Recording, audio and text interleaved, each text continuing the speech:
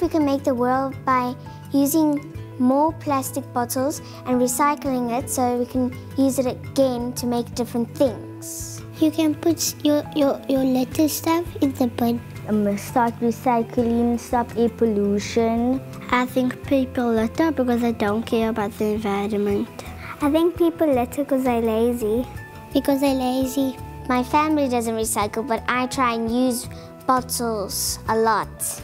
My school recycles and I bring my recycling bags on Thursday. I save electricity by switching off the lights. I think it's bad to litter on the beach because the wind can blow the rubbish into the sea. Some fish would eat it and they would die. There's animals that live there at the beach and people, eat um, they think it's food and they eat it but they will die. Also, the waves pick those bottles up. If it's high tide, a wave can scoop it in. And then the fish will think that's food, they'll go and try and eat it. And once they eat that things, they can die. I want to see the world be nice and green, much greener. Stop violence, stop doing harm to others, stop bullying people.